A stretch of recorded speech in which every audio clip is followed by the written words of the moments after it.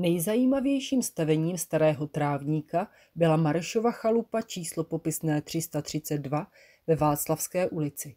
Její majitel, železničář František Mareš, byl velkým sběratelem starožitností a majitelem čtyř místních betlémů. Každoročně v čase vánočních svátků ve svém stavení rád přivítal mnoho občanů našeho města, kteří se přišli na kouzlo jesliček podívat. Letos v dubnu uplynulo od úmrtí Františka Mareše 45 let. Marešova chalupa, původně hospodářské stavení s průjezdnou stodolou, vystavěná ve tvaru písmene L, byla oproti okolní linii trávnické zástavby zapuštěna do malé předzahrádky. Za chalupou býval malý dvorek, za ním se rozprostírala velká zahrada, sahající až k chalupě podhajských číslo 125 v Dobrovského ulici. Zde rostla statná hrušeň šidlenka a jabloně. Chalupa původně náležela Ucajtikovým. Ve 30. letech 19. století zakoupil František Mareš, který se živil jako městský vodák. Na plácku na trávníku, že později stávala socha svatého Václava, vrtal dřevěné vodovodní potrubí. Po něm chalupu převzal jeden z jeho synů, Josef Mareš, který byl otcem betlemáře Františka Mareše. V majetku rodiny byla chalupa po tři generace až do roku 1975. V hlavní obytné světnici u oken stával rozměrný tkalcovský stav a kolovrat. Na něm pracovala do vysokého věku Františkova babička Veronika Marešová. František Mareš nalezl zaměstnání na železnici.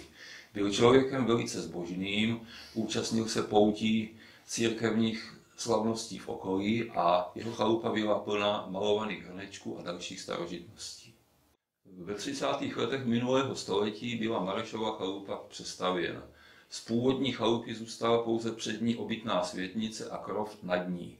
Zadní část vystavěla znova zdejší stavební firma Františka Plašila. Nově vznikla také již vzpomenutá stodola, která byla průchozí právě s tou hlavní obytnou cvětnicí. To z toho důvodu, že ve stodole se nalézal vodovodní stojánek, jediný v celém domě a záchod. Ve světnici žil po celý svůj život betlemář František Mareš v zadním pokoji až do své smrti v roce 1943 žila jeho maminka Kateřina. František Mareš žil ve stavení staromládeneckým životem. Mezi pamětníky se dochovala zajímavá historka o jeho e, námluvách. Rodiče, které si dívky ze starého trávníka jej pozvali domů, aby se s dívkou poznal a případně se domluvili na případném sňatku. František přišel, posadil se u stolu a mlčel. Když to trvalo hodnou chvíli, tak rodiče nevěřekli, tak Františku, něco řekněte. František se rozhledl po světnici, podíval se ke stropu a řekl, tady je ale much. A zase mlčel. Když to zase trvalo chvíličku dlouho, tak rodiče řekli, tak Františku zase něco řekněte. František dodal, ty ale koušou potvory. A tak pochopitelně návštěva skončila fiaskem a z námluv nebylo nic. Přesto se František Mareš oženil. V roce 1928 se oženil s Terezí Blaškovou, dcerou lesního dozorce z Kozlovské hájenky. Manželství je kuriozní tím, že trvalo pouhých 24 hodin. Mladá paní si jako věno do chalupy z Kozlova přivedla na provaze e, krávu, tu umístili ve stodole. E, jako věřící člověk měl František Mareš jiné představy o svatební noci než jeho mladá paní. A tak zkrátka a jednoduše řečeno v noci k ničemu nedošlo. Ráno mladá paní zklamaná vzala za provaz svoji krávu a odkráčela zpět ke kozlovu. Druhý den, když František chodil po trávníku a kamarádi a sousedé se ptali Františku, kde pak máš paní, tak František odpovídal, poslala jsem ji domů, představte si, že ta potvora mi v noci vlezla až do postele. František Mareš stával pravidelně u baranky u svého plotu, opřený o, o stávky a číhal na kolem jdoucí, aby s nimi zavedl dlouhý rozhovor. Byl živou studnici informací ze života třebovských občanů a starého trávníka vůbec. Podle vzpomínek pamětníků byl František Mareš majitelem čtyř betlémů. Tři byly papírové, čtvrtý byl figurkový, zhotovený z dřevěných figurek zakupovaných na poutích v Králíkách. První z Betlémů v roce 1970 František Mareš osobně prodal národopisnému oddělení Národního muzea v Praze. Bedlem čítal 87 papírových figurek. Byly prací třebovského malíře a pozlačovače Karla Jankele staršího, u kterého si je nechal zhotovit třebovský občan pan Kalousek. Od něho jej získal právě František Mareš. Druhý Betlém v době, kdy František Mareš viděl, že bude muset své rodné stavení opustit, tak jej věnoval páteru Antonínu Kubátovi do Králík. Tam se dochoval až do roku 1989, kdy byl navrácen zpět do Českocebovského městského muzea. Třetí z Betlému byl v majetku Františka Mareše až do jeho smrti a po jeho odchodu byl jeho dědici věnován do muzea v České Třebové. Čtvrtý Betlem je ten figurkový, o něm jsem se zmiňoval, a jeho pozdější osudy po demolici stavení nám nejsou známy.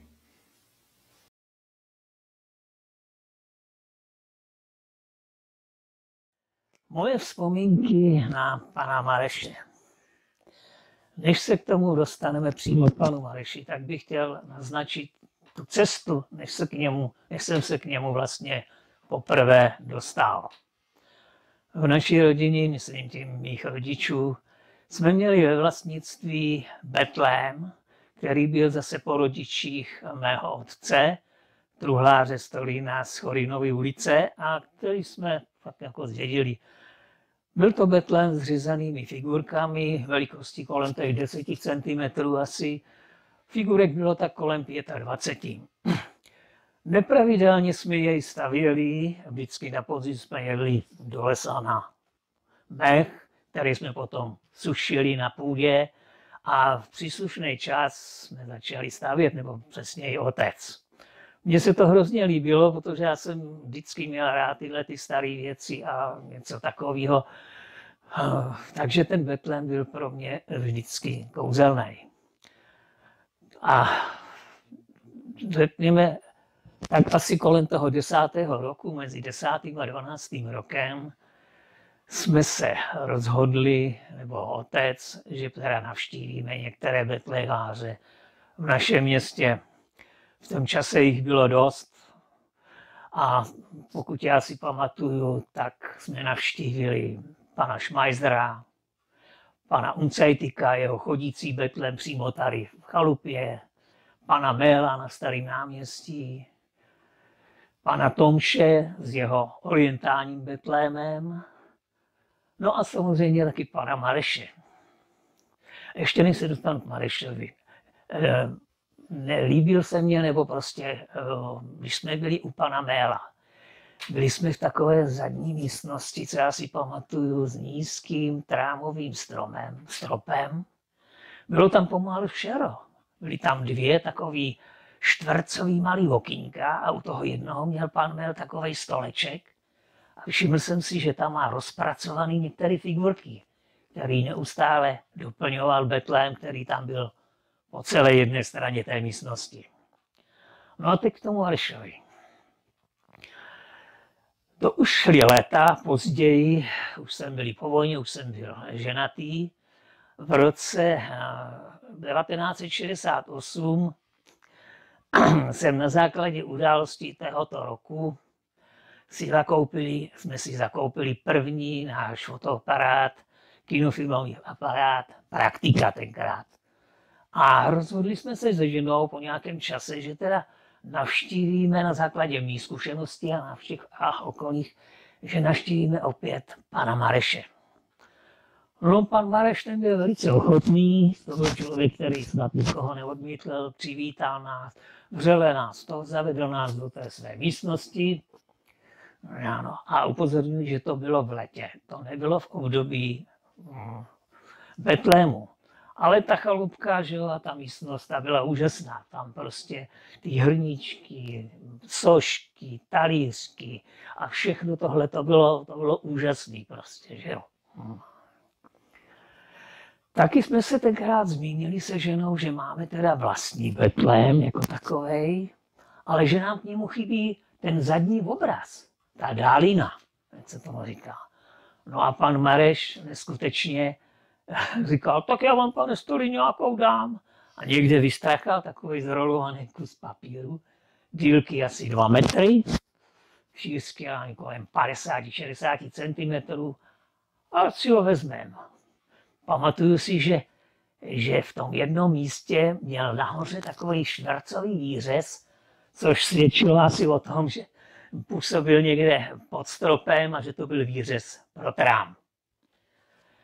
No, na závěr, když jsme s ním mluvil, tak nám na památku dal jeden hrníček, který máme schovaný dodnes. Pak jsem ho navštívil ještě asi dvakrát, jednak jsem mu přinesl ty fotografie, které jsem tam udělal. Bavili jsme se a pan Marek si všiml, že se zajímal o knížky, o knihovnu jako takovou, protože měl bohatý ty svazky všude. A tak se sám i na, na, na, na prostě nabídl, ať přijdu, že si můžu ty knížky prohlídnout. Co jsem teda přivítal, opravdu. No.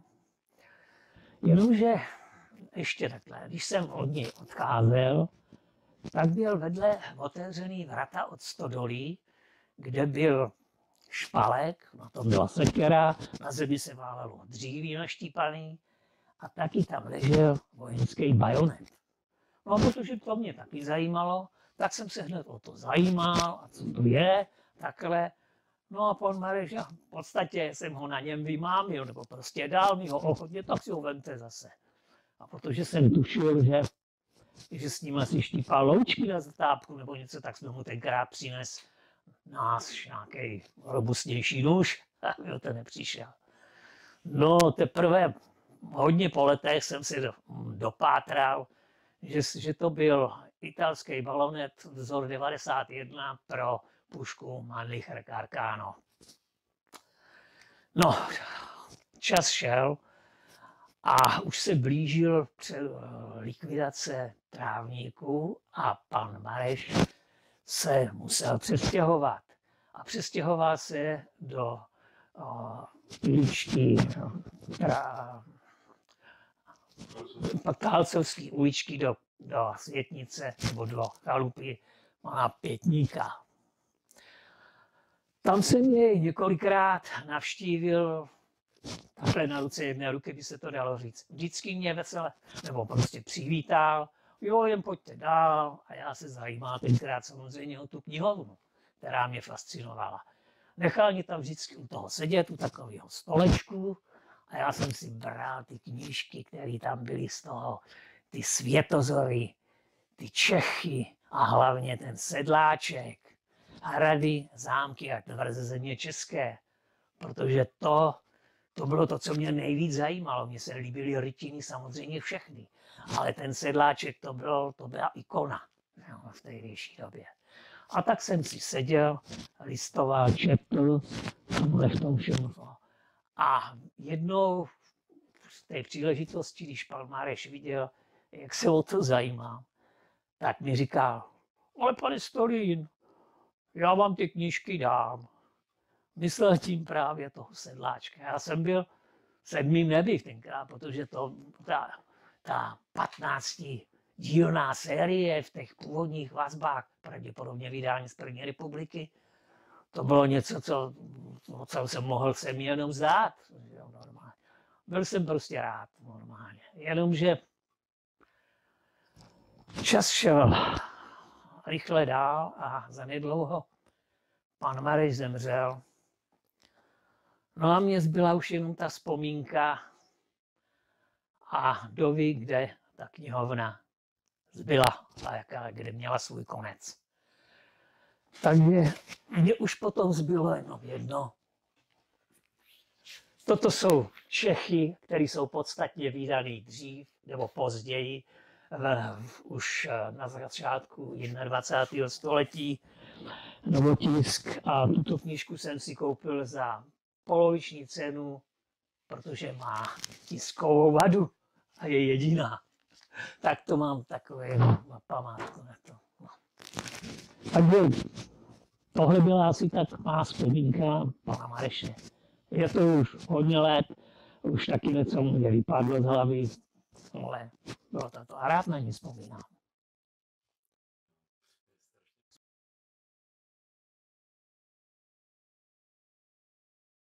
Nyní stojíme na bývalé Marešově zahradě na trávníku. Ta se rozprostírala v místech za námi. V roce 1975 byly dostavěny dva sedmipatrové domy v Habermanově ulici, které byly postaveny na části zahrad domků patřících eh, k zástavbě Václavské ulice, tedy částečně i na zahradě Františka Mareše. Domy byly určeny k přestěhování obyvatel Starého Trávníka, aby mohla začít jeho plošná demolice. Jeden z těchto bytů byl nabízen i Františku Marešovi, ale ten stěhování do panelového domu odmítl. Zůstal tedy nějaký čas, pokud to situace dovolovala, ve svém rodném stavení. Ale čas se naplnil, přišel rok 1976 a František Mareš musel své stařičké stavení opustit.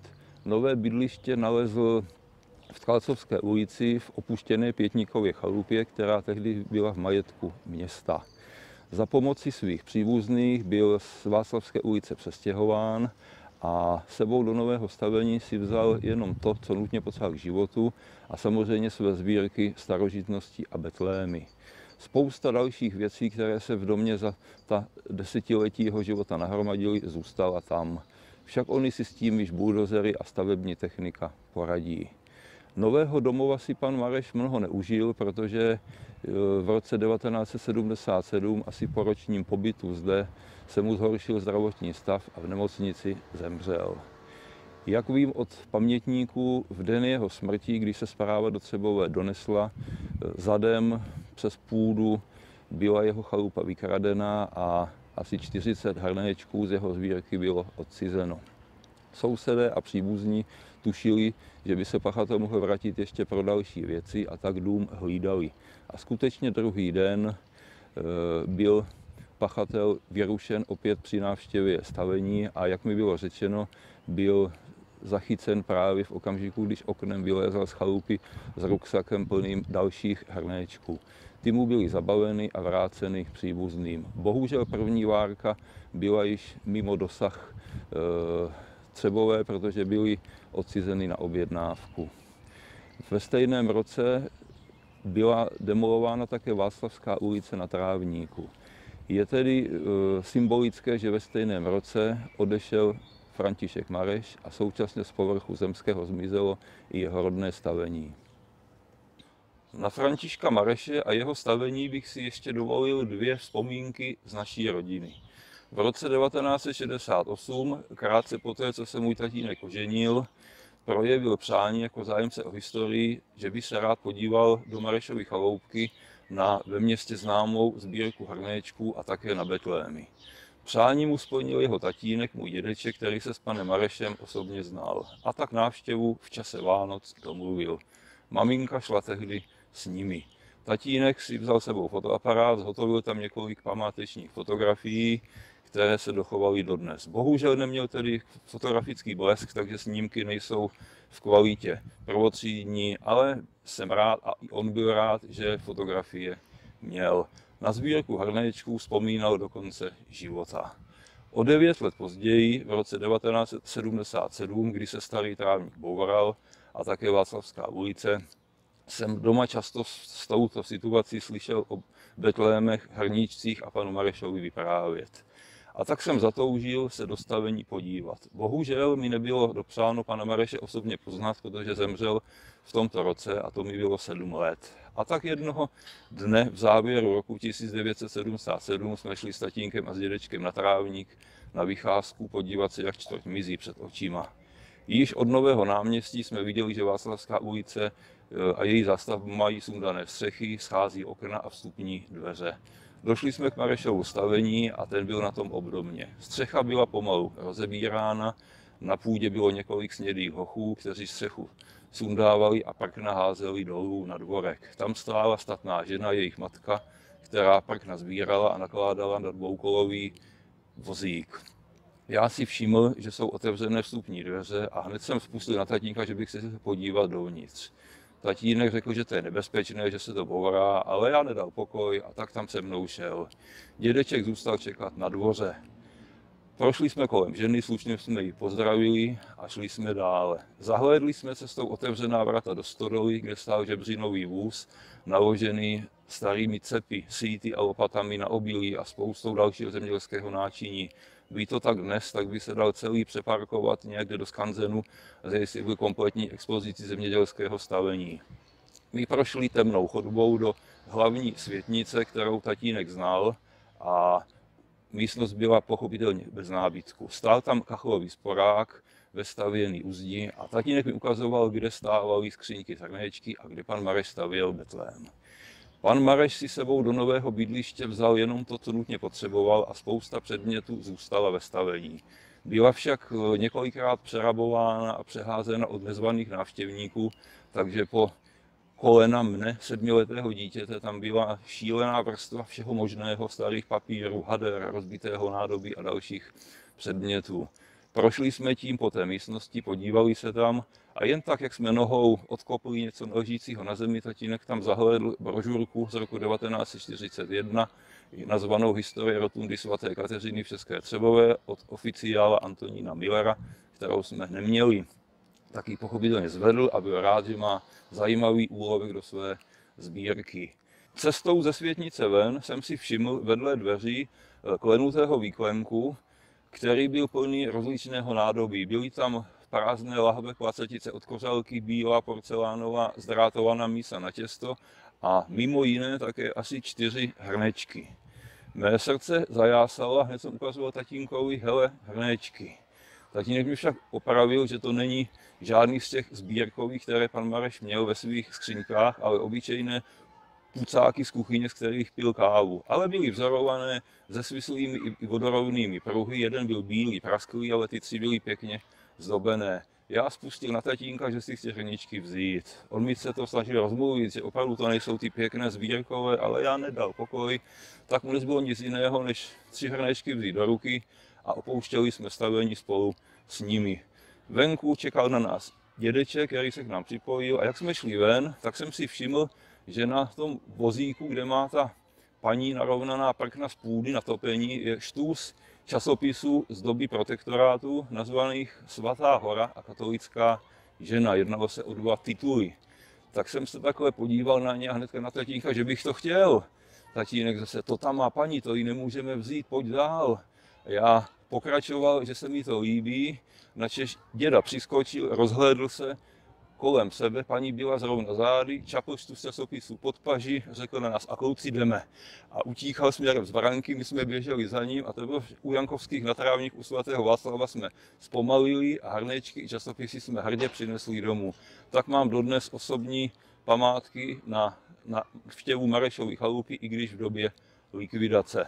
O mnoho let později jsem se seznámil s Janem Schejbalem ze školní uličky, který byl s panem Marešem v příbuzenském vztahu. Vyprávěl mi o něm, měl i fotografie z interiéru, které si nechal udělat od svého známého fotografa a byly to krásné fotografie s detailami hrníčku i celé té jeho světnice. Když pan Schejbal zemřel, pídil jsem se u příbuzných po těchto fotografiích, aby nebyly zlikvidovány. Naštěstí se mi je podařilo zachránit a mimo jiné jsem tam zahlédl na kredenci čtyři hrnečky. Dva byly s náboženskými motivy a dva byly z výjevy z prodané nevěsty. Tak jsem se jeho sestry Andulky zeptal, co to je za hrnečky. Tak mi sdělila, že to dostal Honza od pana Mareše na památku. A na můj dotaz, co s nimi bude, v likvidaci pozůstalosti mi řekla, že tu prodanou nevěstu si chce odvést její dcera do Děčína, ale ty svaté, že nechce tak jestli mám zájem, že jestli je mohu koupit. Tak jsem si je zakoupil, takže mám opravdu i dva hrnečky z té Marešovy sbírky, které se ke mně dostaly touto cestou.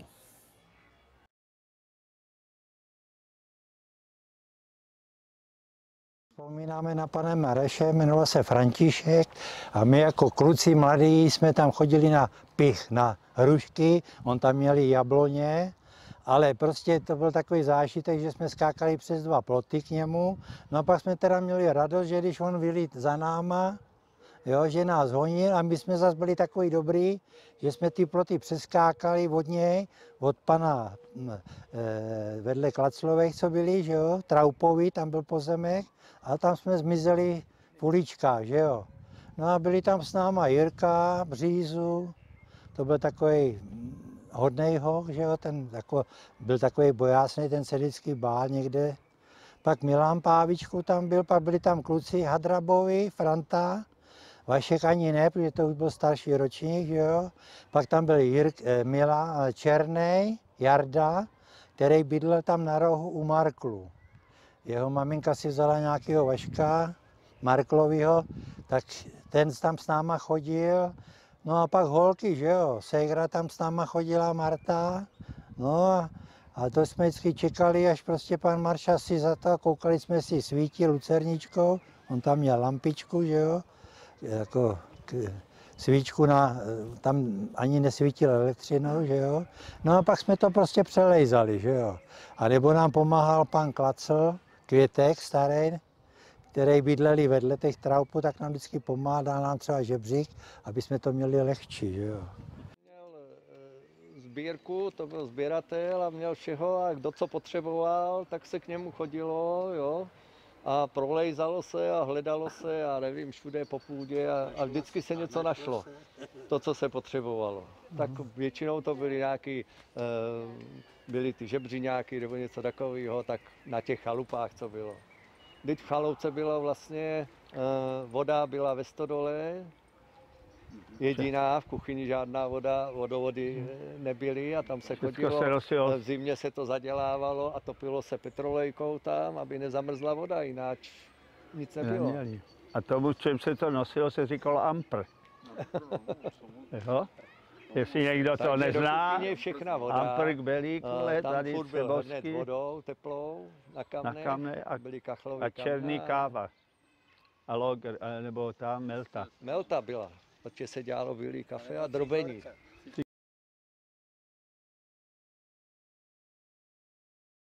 Babička Marie Sedláčková žila v chalupě na trávníku mezi tou továrnou Hurtových a já nevím, Frimlovi to snad. Byl to takový poschodový dům.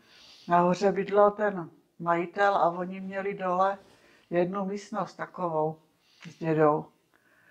No a babička, protože byla nemocná, a měla invalidní důchod, tak nechodila do práce, tak chodila právě k tomuhle panu Marešovi mu prát prádlo, protože on byl starý mládenec a takže se o něj takhle postarala, protože se znali z toho trávníka, že ona vyrostla taky na trávníku.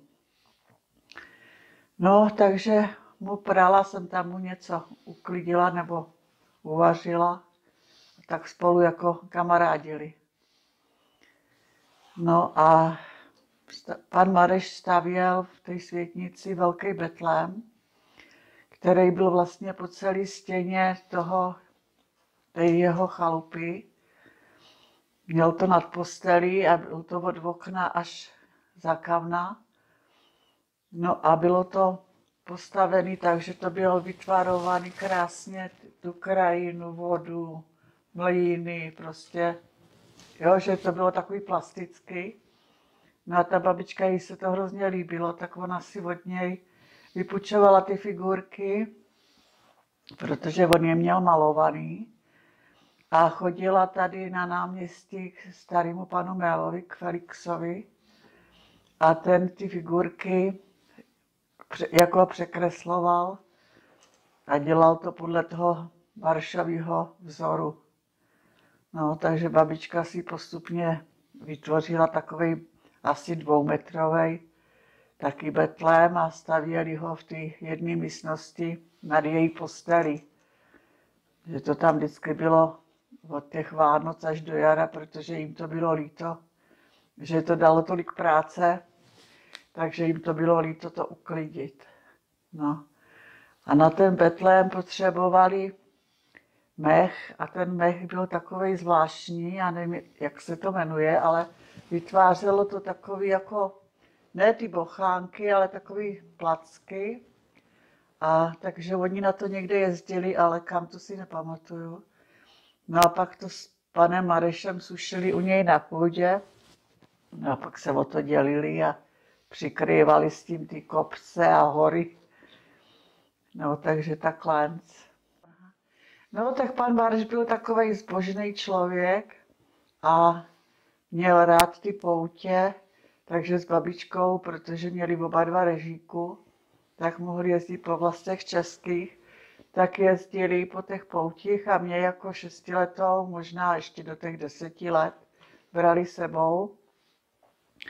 Takže tam si vždycky kupoval ty hrníčky, s kterými se potom chlubil všem návštěvníkům svého domova.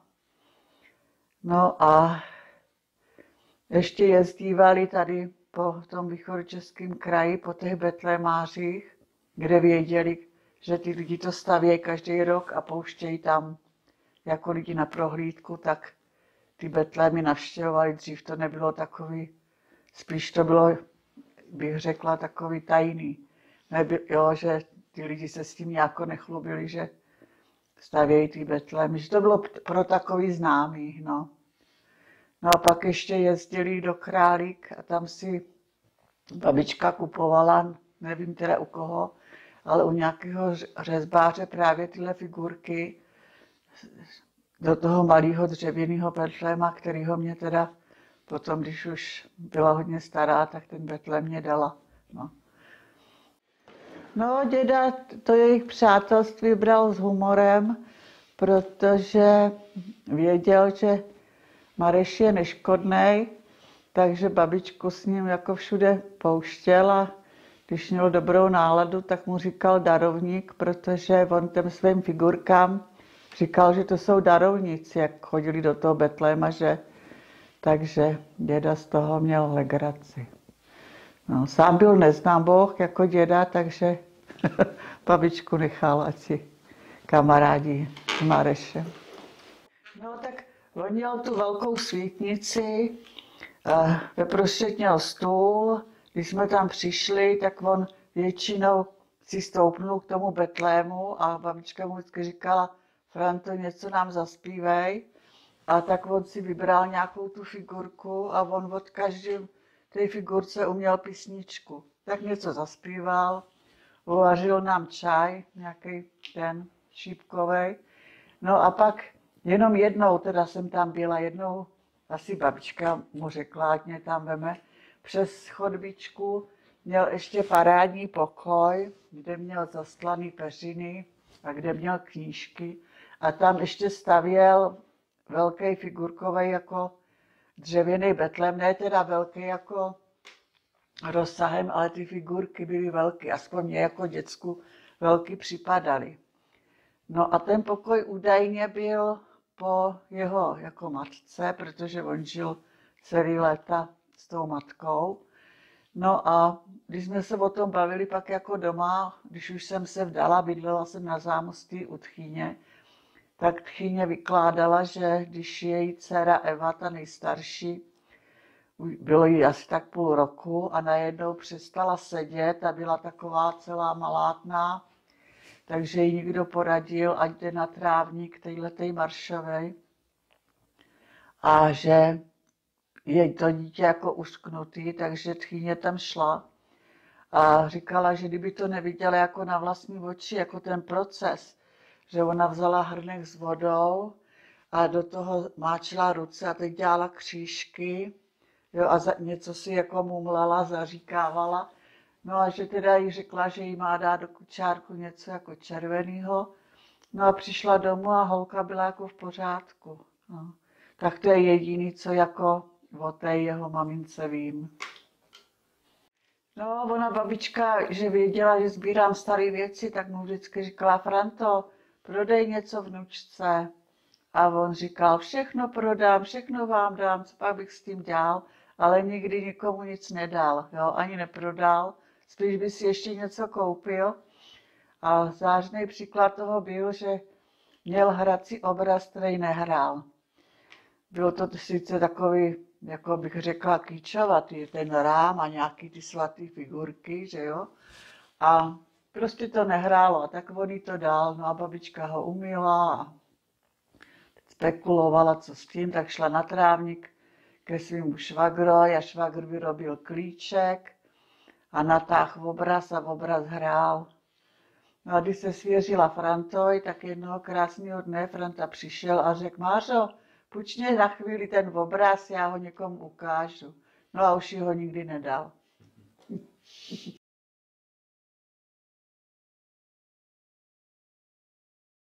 Městské muzeum Česká Třebová má ve svých sbírkách jeden Marešův Betlém. Do sbírky se dostal v roce 1989 a to díky daru eh, tehdejšího pátera Kubáta z Králík.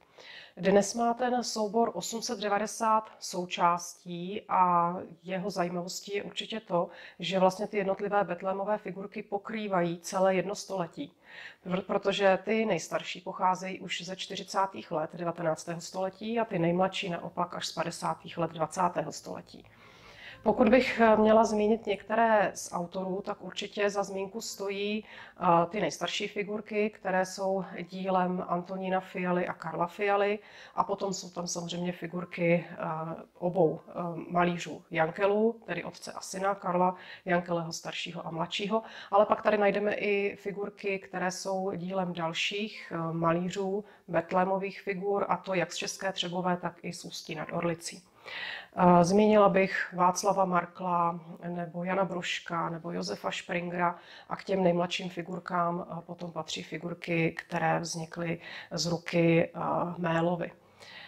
Zajímavostí pro nás, pro historiky, jsou i stavby, které najdeme v tomto Betlému. Teď myslím stavby realistické, které zachycují například podobu kostela svatého Jakuba, kaple na horách, rotundy svaté Kateřiny nebo fary.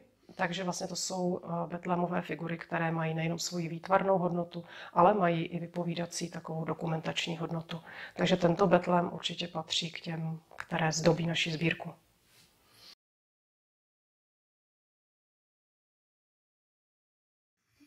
František Mareš byl pochován na městském hřbitově se všemi podstami.